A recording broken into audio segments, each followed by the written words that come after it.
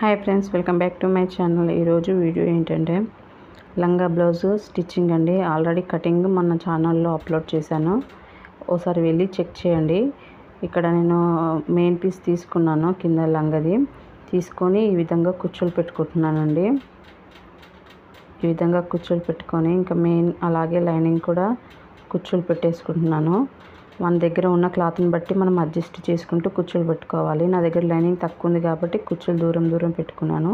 ఇవి రెండు ఈ విధంగా కుచ్చులు పెట్టుకున్న తర్వాత జాయింటింగ్ చేసుకోవాలి. మెయిన్ పీస్ లైనింగ్ పీస్ రెండు జాయింటింగ్ అనేది చేసుకోవాలి.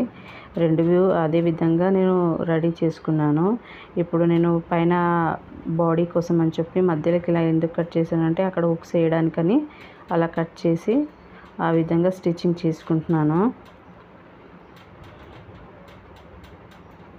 ఇలా స్టిచ్చింగ్ చేసుకున్న తర్వాత ఫస్ట్ ఉక్స్ కాజా తీసుకున్న తర్వాత మళ్ళీ షోల్డర్స్ జాయిన్ చేసుకోవాలి. షోల్డర్స్ రెండు వైపులా కూడా అదే విధంగా జాయింట్ చేసుకోవాలి. జాయింట్ చేసుకొని ఇక్కడ చూపిస్తున్నాను కదా ఈ విధంగా మనము దాన్ని ఫోల్డింగ్ చేసుకుంటూ ఈ విధంగా కుట్టుకోవాలి. హ్యాండ్ కూడా అదే విధంగా అదే విధంగా కుట్టుకోవాలి హ్యాండ్స్ కూడా. కొంచెం కొంచెం కొంచెం కొంచెం ఫోల్డ్ చేసుకుంటూ నెమ్మదిగా కుట్టుకోవాలండి. ఇంకా రెండు వైపులా కూడా కుట్టేసుకున్నాను. ఇక్కడ మన కుక్స్ కాజా వస్తుంది.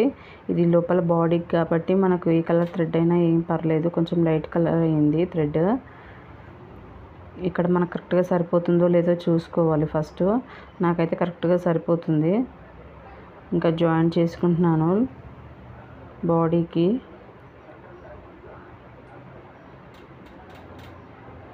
రెండు వైపులా కూడా అదే విధంగా జాయిన్ చేసుకోవాలి. డబల్ స్టిచ్ చేసుకోవాలి ఈ విధంగా. ఇట్లా రివర్స్ తీస్తే ఇలా కనిపిస్తుంది మనకు. నేను రెండు వైపులా కూడా అదే విధంగా జాయిన్ చేసుకున్నాను. ఇప్పుడు సైడ్లకు ఫినిషింగ్ కోసం అని చెప్పి వన్ ఇంచు వదిలేసి మనం స్టిచ్ చేసుకోవాలండి ఈ విధంగా. ఇక్కడికి చివరి వరకు రాగానే మనం టంకను లేపుకోవాలి. మనకు బాడీ వరకు క్లాత్ ఇక్కడ వరకు అవుతుందో అక్కడ వరకు రాగానే టంకన్ పైకి లేపుకొని ఆ నిడిల్ కిందే ఉంచి మళ్ళీ పైకి లేపి ఈ విధంగా స్టిచ్చింగ్ డబుల్ స్టిచ్ చేసుకోవాలండి. ఈ విధంగా ఇక్కడ చూస్తున్నారు కదా ఈ విధంగా మనము స్టిచ్చింగ్ అనేది చేసుకోవాలి. ఇలా మనకు ఓపెన్ అనేది కనిపించాలండి మొత్తం చివరి వరకు కుట్టకూడదు. ఈ విధంగా ఓపెన్ కనిపించాలి చూస్తున్నారు కదా ఈ విధంగా ఓపెన్ కనిపించేటట్టు రెండు రెండు ఒకే దగ్గరికి వచ్చేలాగా పట్టుకొని ఈ విధంగా రెండు ఒకే దగ్గర ఉండేలా చూసుకొని పట్టుకొని ఇక్కడ నుంచి కింది వైపు స్టిచ్చింగ్ చేసుకోవాలి డబల్ స్టిచ్చింగ్.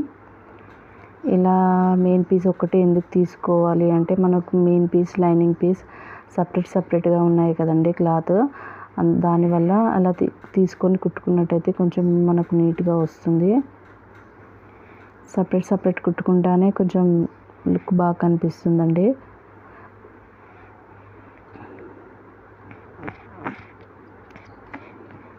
ఇక్కడ మనకు బార్డర్ కూడా రెండు ఒకే దగ్గర ఉండేలా చూసుకోవాలి. కొంచెం దూరంగా ఉన్నప్పుడు చూసుకోవాలి. పైకి కిందికి వస్తే బార్డర్ బాగోదండి. అలా రాకుండా ఉండడం కోసం ముందుగానే మనం చూసుకుంటూ కుట్టుకోవాలి. దాన్ని డబల్ స్టిచ్చింగ్ చేసుకోవాలి కంపల్సరీగా. ఇంకా నేను లైనింగ్ కూడా అదే విధంగా జాయిన్ చేస్తున్నాను. ఇప్పుడు మెయిన్ పీస్ లోపలికి అనేసి లైనింగ్ ఒక్కదాన్ని లై జాయిన్ చేస్తున్నానండి. చూస్తున్నారు కదా. ఈ విధంగా జాయిన్ చేసుకోవాలి. మెయిన్ పీస్ని కూడా ఇలాగే జాయిన్ చేసుకున్నాం కదా ఇప్పుడు లైనింగ్ పీస్ని కూడా ఇలాగే జాయిన్ చేసుకోవాలి డబల్ స్టిచ్ చేసుకోవాలి.